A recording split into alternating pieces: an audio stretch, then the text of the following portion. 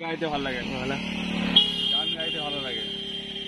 বা তোমার হচ্ছে মনে হচ্ছে তুমি নিজের ভালো কিছু একটা পাচ্ছ যে তোমার এটা ট্যালেন্ট ধরো এটা তোমার ডান্স করতে ভালো লাগে মানে কোনো কবিতা করতে ভালো লাগে লিখতে ভালো রাইটার হিসাবে ভালো লাগে তোমার। যে কোনো যেটা তোমার তোমার ফ্যাশন সেইটা কাজ লাগাও। সেই জিনিসটাই কাজ লাগাও।